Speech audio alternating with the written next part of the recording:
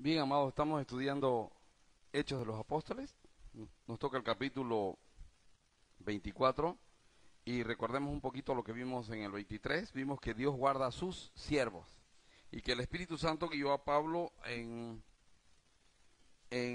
cuando le tocó eh, eh, defenderse y lo primero que aconteció fue que Pablo usó diferencias doctrinales para salir. Había entre sus acusadores había un, un grupo dividido, habían unos que eran fariseos y otros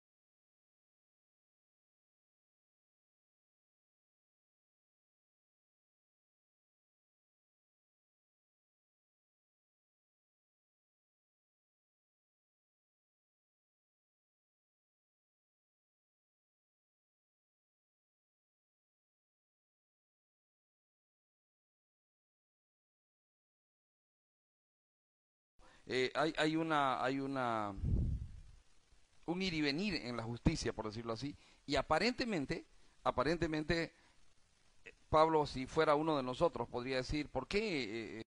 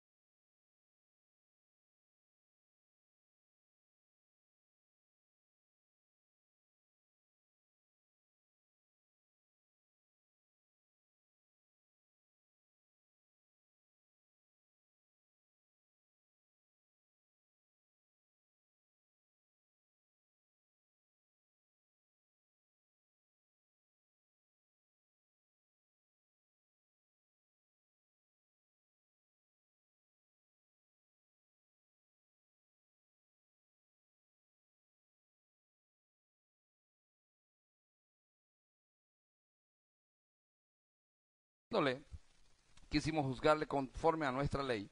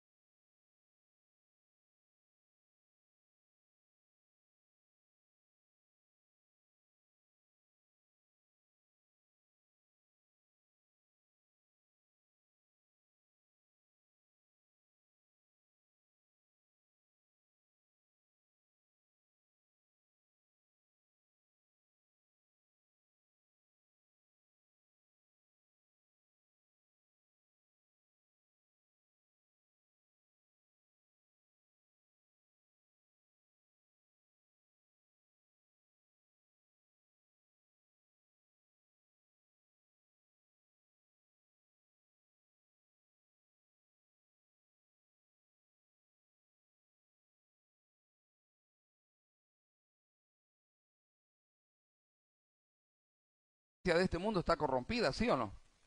Está completamente corrompida. Entonces, solo hay una manera de prevalecer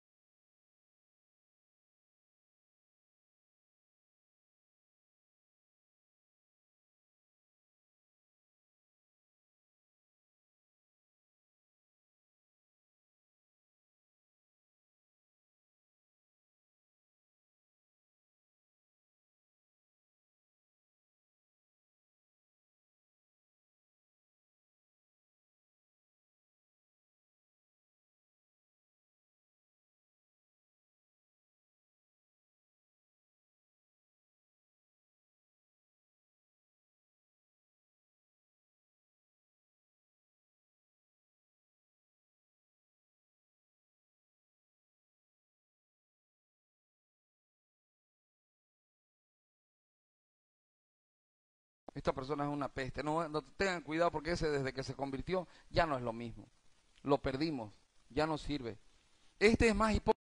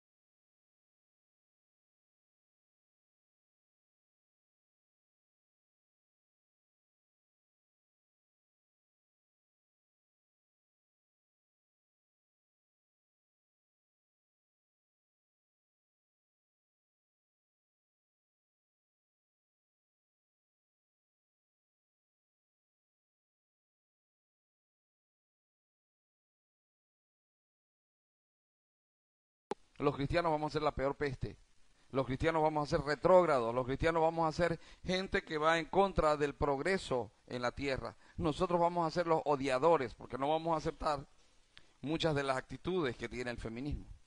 Muchas de, de que ellos proclaman verdad, nosotros lo rechazamos, no por, no por nosotros mismos, sino por la Biblia. Entonces, de nosotros también van a hablar este tipo de cosas. Van a decir, estos son sediciosos, o esta gente no sirve, o esta gente son una plaga, o estos perjudican promotor de sediciones entre todos los judíos por todo el mundo y cabecilla de la secta de los nazarenos. Ah, bueno, esto ya es normal. Eh, cabecilla de una secta. Siempre se ha dicho de los cristianos que son una secta, ¿verdad? Entonces, eh, ¿por qué le, recalco estas cosas? Porque es necesario que usted sepa, mi amado, mi amada, que nosotros no somos la excepción. Que igual que Pablo, a nosotros nos van a perseguir.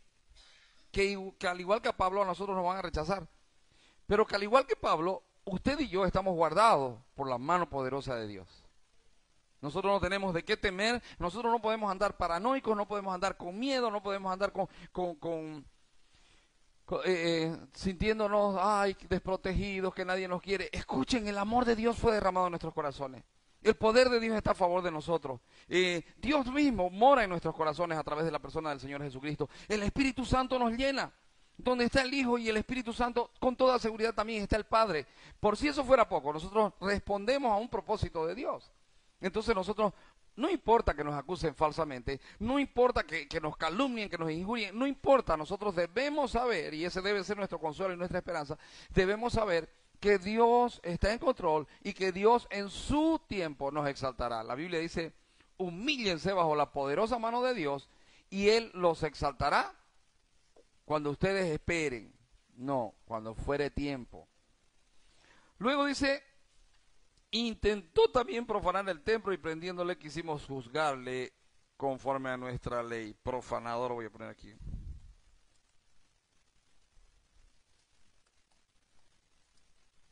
También se nos llama profanadores de costumbres, profanadores de tradiciones. También muchas de las cosas que se enseñan, cuando uno llega a la Biblia, uno descubre que muchas de las cosas que nos enseñaron en la religión eran mentiras. Y entonces empezamos a predicar lo contrario. ¿Y qué es lo que se nos dice? No, esos son profanadores. No, eso. ¿Se acuerdan que a Jesús le decían, eres profanador del día sábado? ¿Se acuerdan de eso? A Jesús. Por ende, cuando nosotros usamos algo de la libertad que nos ha sido dada, se nos dice profanadores. Bueno, pero ahora la, la, la pregunta la, la, mejor dicho, la acusación está, eh, ¿cómo la toma Pablo? No importa que nos calumnien, no importa que nos, que, que, que tengan por plaga, no importa que nos tengan por sediciosos, por secta, por profanadores, no importa. Nosotros tenemos algo de nuestro lado la verdad. Entonces usted siempre responda con la verdad.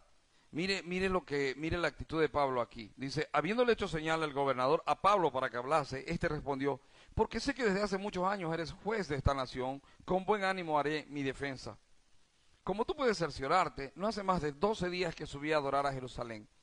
Eh, me gusta contarlo, me gusta mucho contarlo. Hace, hace un tiempo atrás, unos años atrás, una hermana fue, recibió persecución de aquí de la iglesia y la metieron presa sin haber hecho nada. Y estuvo presa seis meses sin haber hecho nada, literalmente sin haber hecho nada. Simple y sencillamente por ser hermana de una persona, la agarraron y la tomaron y la metieron presa. Y estuvo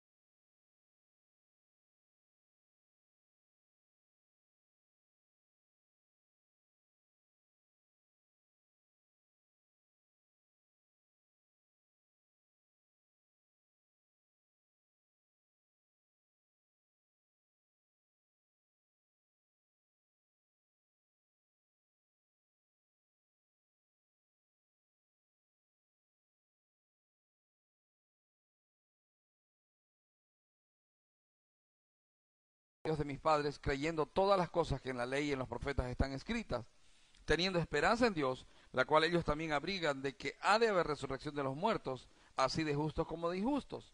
Y por esto procuro tener siempre una conciencia sin ofensa ante Dios y ante los hombres. Pero pasados algunos años vine a hacer limosnas a mi nación y presentar ofrendas. Estaba en ello cuando unos judíos de Asia me hallaron purificado, purificado en el templo, no con multitud ni con alboroto ellos debieran comparecer ante ti y acusarme si contra mí tienen algo. O digan estos mismos si me hallaron a mí en alguna a mí alguna cosa mal hecha cuando comparecí ante el concilio, a no ser que estando entre ellos prorrumpí en alta voz acerca de la resurrección de los muertos, soy, juzga soy juzgado hoy por vosotros. Ok.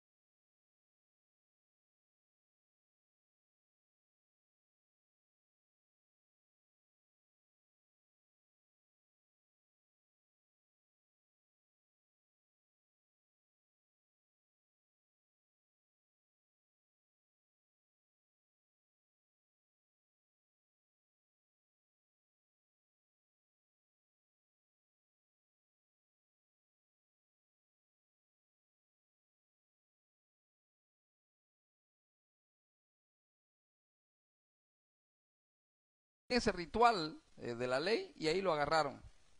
Eso fue lo que pasó. Entonces, eh, y de eso aprendemos que nosotros no, no somos salvos por, por, cumplir algún ritual y no estamos guardados por Dios por cumplir algún ritual. Nosotros somos salvos porque somos salvos, porque Dios nos salvó, porque creemos en Cristo Jesús.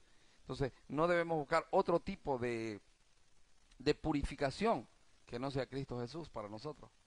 Eh, aquí en este caso Pablo particularmente lo digo cometió un error, cometió un error. Él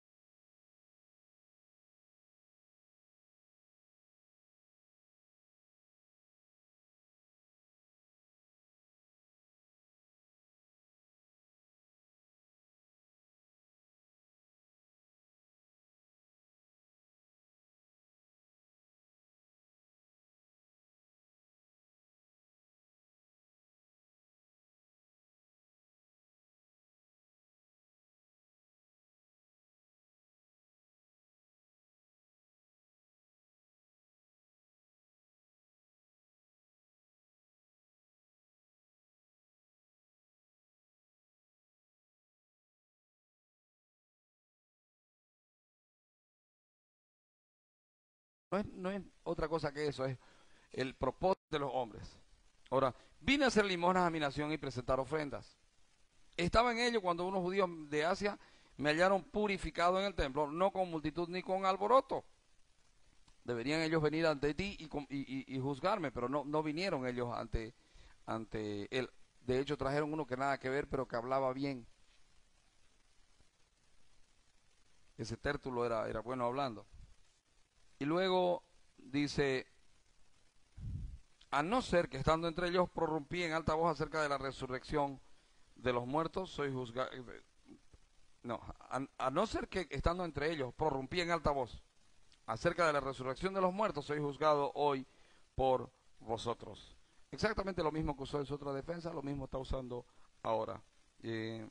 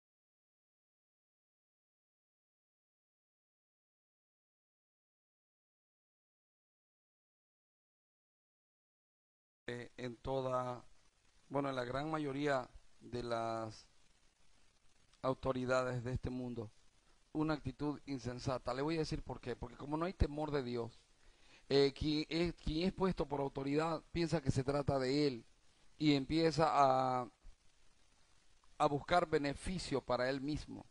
¿Sabe, mi amado, mi amada? Si algún día a usted le toca estar en un puesto de eminencia, acuérdese, usted ha sido puesto ahí para servir a otros Toda autoridad está para servir a otros. Si usted es un cristiano, evangélico, creyente, si usted cree en la Biblia, sepa, donde Dios lo ponga hay un solo propósito. No es que usted sea exaltado, ni que usted saque provecho. El propósito por el que usted está ahí es servir. En, todo caso, eh, eh, Félix no era cristiano. Pero podemos sacar ese, esa enseñanza para nosotros. La actitud de él es insensata. Entonces Félix oía de estas cosas, estando bien informado de este camino, les aplazó diciendo, cuando descendiera el tribuno Licias, acabaré de conocer vuestro asunto. ¿Por qué? Porque dice, estando bien informado. Él conocía lo que era el camino de los nazarenos o, lo que era el camino del, del, Señor Jesucristo o lo que era lo que se llamaba en ese tiempo, le decían los del camino. En otras palabras, él había oído del Evangelio y sabía que era el Evangelio. Entonces él podía decir, oye, un ratito, yo sé de qué se trata esto y lo voy a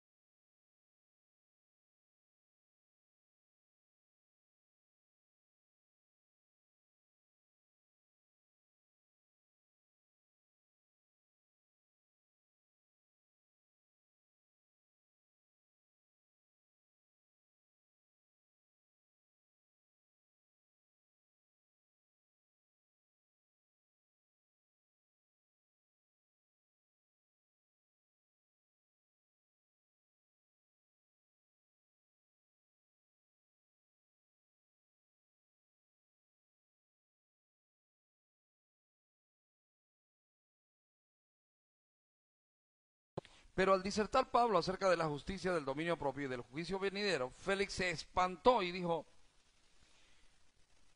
ahora vete, pero cuando tenga oportunidad te llamé. Mire lo que dice en el versículo 6. Voy a poner aquí, hasta esto es hasta el 27, ¿verdad? Voy a poner aquí, Félix pensaba que se... Perdón, esto es Félix, no es Félix.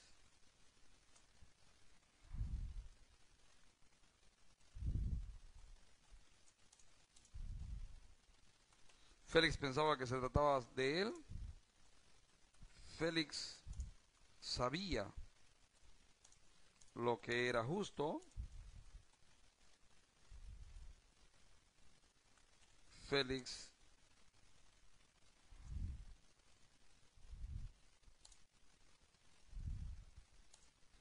procuraba quedar bien con todos.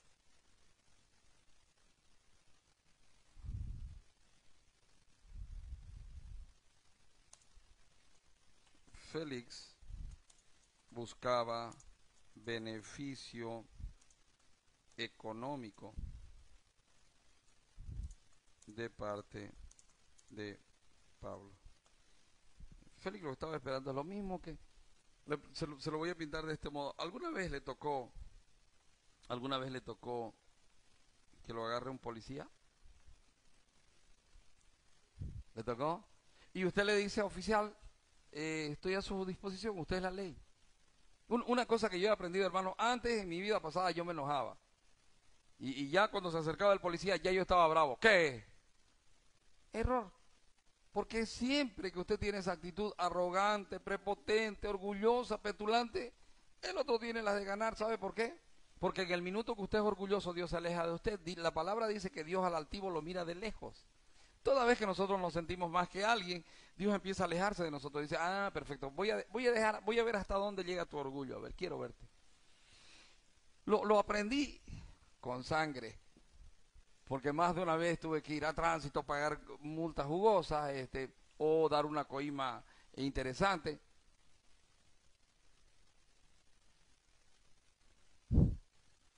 Cuando, cuando toque, eh, eh, cuando le toque con una, con una autoridad, primer, en primer lugar sea humilde. Sea humilde, no, no, no se exaspere.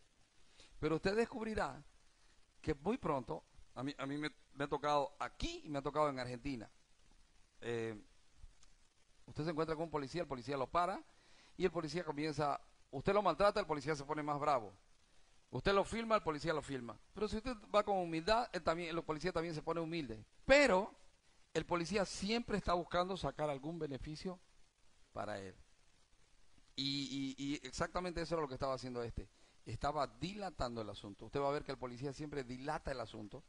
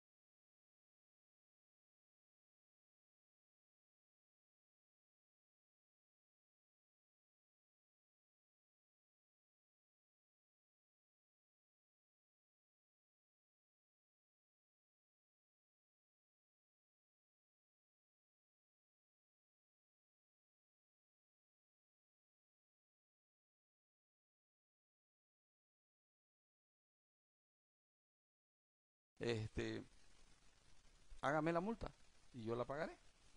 Pero le estoy advirtiendo, ¿no? Le dije, no se preocupe, oficial. Y le digo, ¿y, y, y, y cuánto estipula eh, de multa eh, la ley de ustedes? Le digo. Me dice 3.500 pesos. Y le digo, ¿y a usted le parece razonable esa multa? Le dije, ¿le parece que, que, yo he cometido eh, un error que amerite esa, esa multa? Y me miró así y me dijo, y sí. Ah, bueno, entonces le dijo, oficial, usted la ley, haga lo que tengan que hacer. Y buscaba, no encuentro mi talonario. Y de repente vino su colega que estaba atrás y le trajo el talonario y se lo puso. Parece que le dio miedo, no lo sé. Parece que le dio miedo porque el otro vino, o parece que no quería repartir la, la coima con el otro. Y, y, y, miraba mi licencia y miraba esto y me la volteaba y me la volteaba. Él quería que yo le diga, bueno, arreglémoslo de alguna manera. Pero al ver que no le dije, tomó mis cosas y me dijo, tome, siga. Y le dije, ¿me puedo ir? Sí, me dijo, váyase. Por esta vez no le vamos a hacer nada. No le pagué nada.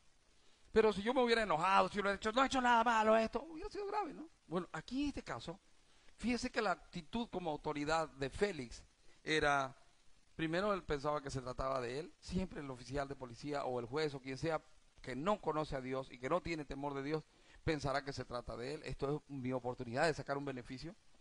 Eh, Félix conocía la ley, sabía lo que era justo y sabía que Pablo estaba injustamente, pero lo dejaba ahí a propósito.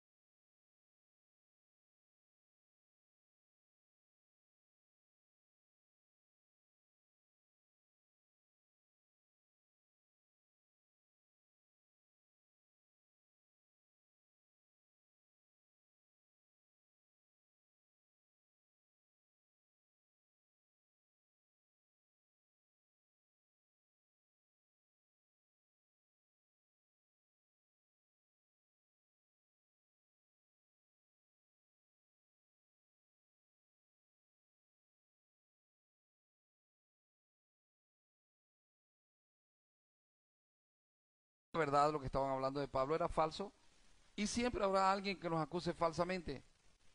Mismo en la iglesia, hermanos amados, pasa. Siempre hay alguien que viene y habla mal de nosotros siendo mentira, ¿sí o no? ¿Les ha pasado? ¿Alguna vez les pasó pasar un tiempo, pasar por un tiempo en que hablen mal de ustedes? Bueno, la tendencia inicial es enojarnos, pero lo que debemos hacer es recordar que el Señor dijo eh, a través de Pedro, alégrense, o a través de Santiago también, alégrense